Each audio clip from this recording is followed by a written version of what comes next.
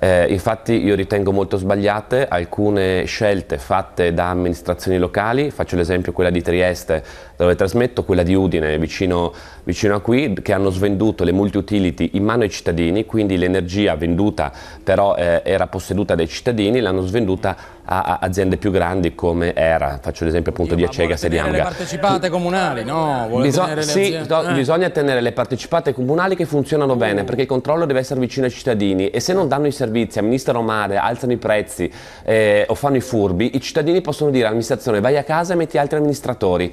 Non vuol dire che eh, se qualcuno faceva il furbo con parte eh, alcune mm. partecipate ed erano governate male bisogna far fuori tutte le partecipate. Quelle governate male allora bisogna trovare una soluzione. Quelle che funzionavano, avevano utili e vanno bene mi sembra una follia svenderle magari ad Era dove guarda caso chi li amministra è, è lo stesso colore politico del sindaco, eh, dei allora, sindaci che le svendono. No,